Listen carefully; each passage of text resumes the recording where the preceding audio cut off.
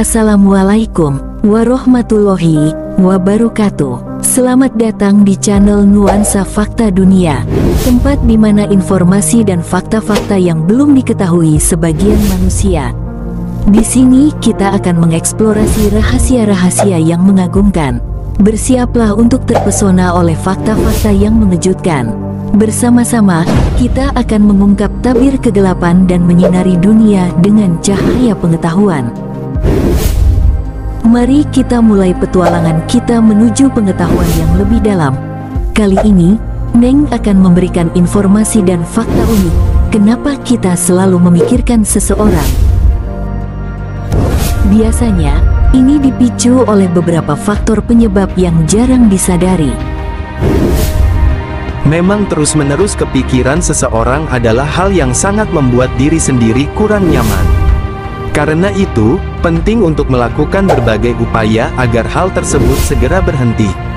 Salah satunya dengan mencari tahu alasan selalu memikirkan seseorang. Dikutip dari sumber yang abang dapat, berikut ini adalah beberapa alasan, kenapa kita selalu memikirkan seseorang. 1. Ada masalah yang belum terselesaikan. Alasan yang pertama, yaitu karena ada masalah yang belum terselesaikan. Karena itu, muncul perasaan untuk tidak membawanya dalam hubungan berikutnya. Pasalnya, diperlukan waktu untuk memulihkan serta menanganinya.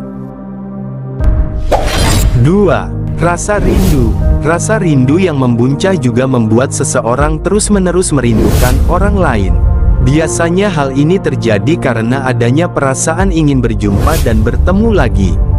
Bisa juga karena sudah lama tidak bertemu dengannya dan ingin bisa menghadirkan kembali momen kebersamaan yang pernah ada. 3. Ada ekspektasi yang ingin dipenuhi. Ketika menyukai seseorang, tentunya ada keinginan agar dia juga membalas perasaan suka tersebut. Hal ini akan memunculkan sebuah ekspektasi yang ingin dipenuhi, sehingga membuat seseorang membayangkan berbagai macam kemungkinan yang bisa hadir terkait hubungan dengannya. 4. Ada rasa cinta. Saat jatuh cinta, seseorang bisa terus membayangkan dan memikirkan orang yang dicintainya. 5.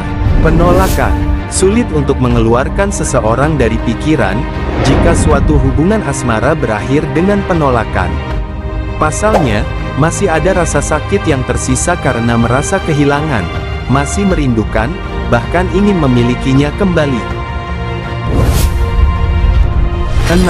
Merasa kesepian Merasa kesepian juga membuat seseorang selalu memikirkan seseorang yang biasanya mengisi hari-hari dengan cerita menyenangkan.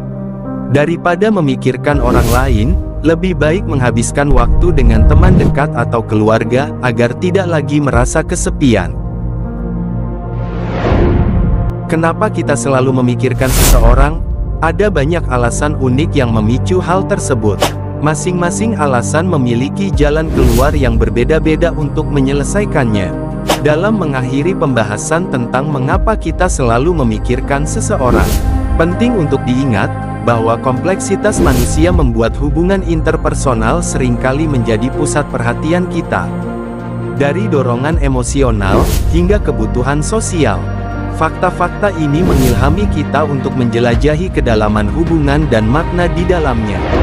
Semoga informasi yang abang berikan bisa bermanfaat dan menambah pengetahuan buat para sahabat.